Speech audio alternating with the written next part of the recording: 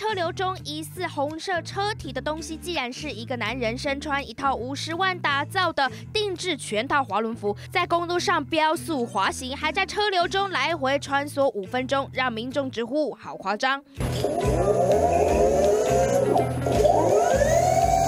超高科技的装备量身定制，好像只有在电影中才会出现。超夸张的路面滑行，男子却骄傲地说：“那是他自己改装的。”其实他这套装备的动力啊，全世界三十套盔甲，它都是要靠这个坡道的这个倾斜度来作为动力。